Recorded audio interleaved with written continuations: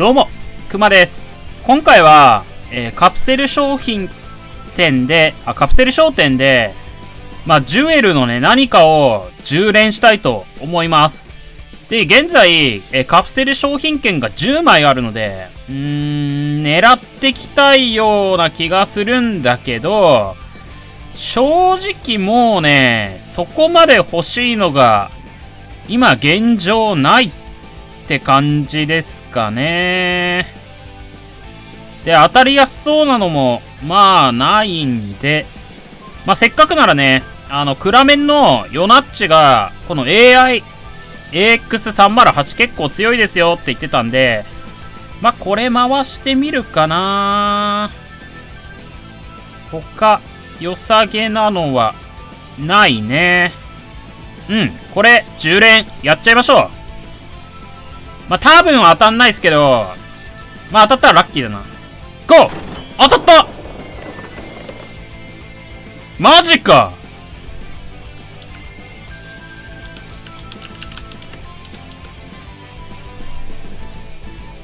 マジかじゃあ開けていきましょうおいあはははい !AIAX308! マジか。当たっちゃった。あ、2個当たっちゃった。なんだこれ !2 個当たったんだが。熊隊長 AIAX308 2個当たりました。意味わからんな。意味わからんな。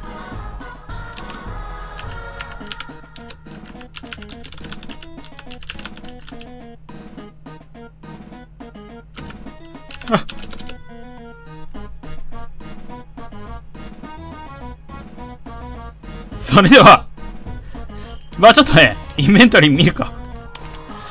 ああ、2本当たっちゃったな。はい。いや、いらんな、マジで。それではご視聴ありがとうございました。